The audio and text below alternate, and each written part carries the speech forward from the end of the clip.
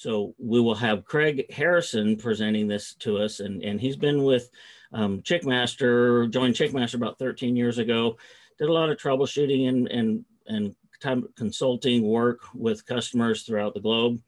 Um, and since the merger between Jamesway and Chickmaster Incubator Company is being um, utilized with his experience and expertise designing and implementing new systems to enhance the product lines that we have, not only for the, the Chickmaster Avida, I believe he's involved with some of the Jamesway enhancement products too. So it comes with a lot of varied experience, both in the field, hands-on in hatcheries, but as well as, as other areas. So um, welcome all here. And with that, I will let Craig Harrison share his screen and take over. And at the end of his comments, I'll reappear and we will um, entertain questions. So Craig, go ahead. Thanks for that, Keith. Much appreciated. So good afternoon, everyone. Um, as Keith mentioned, I'm Craig Harrison. Um, and today we're going to be focusing on preventative maintenance for the Avida Chickmaster product line, which is our single stage mainline incubator. Uh, so before we get started today, I think it's really worth spending a moment just to clarify exactly what we mean um, for preventative maintenance and what the aim of this is to do. And the aim is fairly simple. We want your machines to run as long as possible, as high as highest quality as possible, so that your production is uh, goes without interruption, and your day old chicks that you're putting out the other end are as the highest and most consistent quality that's possible. So, what's the benefits of uh, uh, preventative maintenance. First of all, it's important to clarify exactly what we mean by preventative maintenance. When somebody's talking about maintenance on any, any sort of capital equipment, it can be largely split into two different types. So first of all, you've got your reactive maintenance. This is akin to your brakes failing on your truck as you're going down the highway or the freeway, um, and you're finding yourself using the emergency lane on the side. Now, your production might be absolutely fine. The load on your back of the truck is absolutely fine. Your driver is going to be a little bit scared and nobody's really hurt, but it's far from an ideal solution. The ideal solution in this scenario would be to regularly change your brakes. And that's what we're talking about today on the incubators. That regular maintenance that can avoid any catastrophic failure or loss of production for your incubators. So proactive maintenance, what's its benefits to you? What's it going to allow you to do? it's going to prolong the life cycle of any of your machines. There's absolutely no reason why an incubator from James or your Chickmaster uh, shouldn't still be running in producing a good quality product for you 30 years after installation. We have machines out there in the industry that have been in for 60, 65 years um, with some upgrades to cosmetics, to the controls and some of the uh, temperature probes. But the core functionality of the machine is unchanged in that time because it's been accurately maintained. By putting in preventative maintenance, this is going to reduce the amount of reactive maintenance that you have to do on the machine. There's countless studies being done on this, and most of them agree that the return on investment of preventative maintenance is at least a one to one ratio. So if you're spending $10 on a replacement fan belt before it breaks, you're offsetting the cost and you're delaying the cost of replacing that when it does actually break. And you're also reducing the amount of unscheduled downtime that you're going to have on that machine. You're reducing or eliminating those um, out of hours callouts and the danger inherent inherent with those of having sole members of staff working late at night on live electrical systems you're giving yourself peace of mind as well. So when you're putting eggs into an incubator or chicks into a hatcher you know with confidence that that machine is going to see through that 21 day cycle and give you a product that's saleable and uniform and consistent at the other end. The net result of all of these is a higher profit margin for the hatchery especially important uh, when you, if you're in an integrated facility and hatcheries can often be seen as a cost center or a, or a hole where the money disappears rather than a, a, a product producing center. Net result of all of this is obviously a better and more consistent chick quality.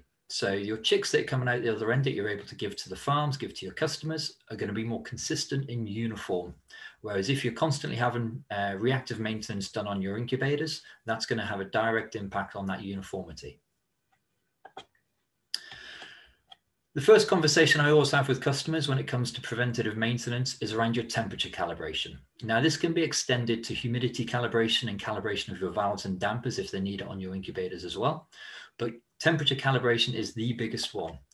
The reason is a small error in your temperature calibration, just a few tenths of a degree, can have a massive impact on the quality of your incubation within that machine. Much like baking a cake, if you bake that cake too quickly, it's going to come out wrong the other end. And equally, if you bake it too slowly at a lower temperature, it's going to have the opposite effect. So the calibration tools that you're going to use for calibration, first of all, you're going to need a half decent calibration box. So through Chickmaster over the last couple of years, we've had two main kits available. The current one you can see in the top right of the screen, which is the RC2, and this is a wireless calibration kit. Functionally, it's exactly the same as the older kit with one big advantage that it's wireless. So you can put the kit on the top of your incubator. You don't need uh, mains wires running through your corridor, introducing a trip hazard and electrical in a washdown area. And then you can link that to any Bluetooth enabled tablet. So you can walk up and down the hatcher corridors, leave the kit running and come back to it later. And and you, you, can do that with confidence knowing that nobody's going to accidentally push a trolley into the kit and break it at the time that you need it the most. Slightly older kit at the bottom of this image is the black suitcase. Um, you can have up to eight probes in this kit. And again, it works as similar to the top one, only it has to be sat situated in front of the incubator in order to function, and you need to plug it in as well. So once you've got a solid calibration kit, you're going to want a mercury thermometer as well. Now, the mercury thermometer is, for want of a better word, the Bible within your hatchery, within your site. That's the reference point at which you calibrate your calibration kit. So you've got to be absolutely rock steady that that, cat, that mercury thermometer is accurate to the temperature that you want it.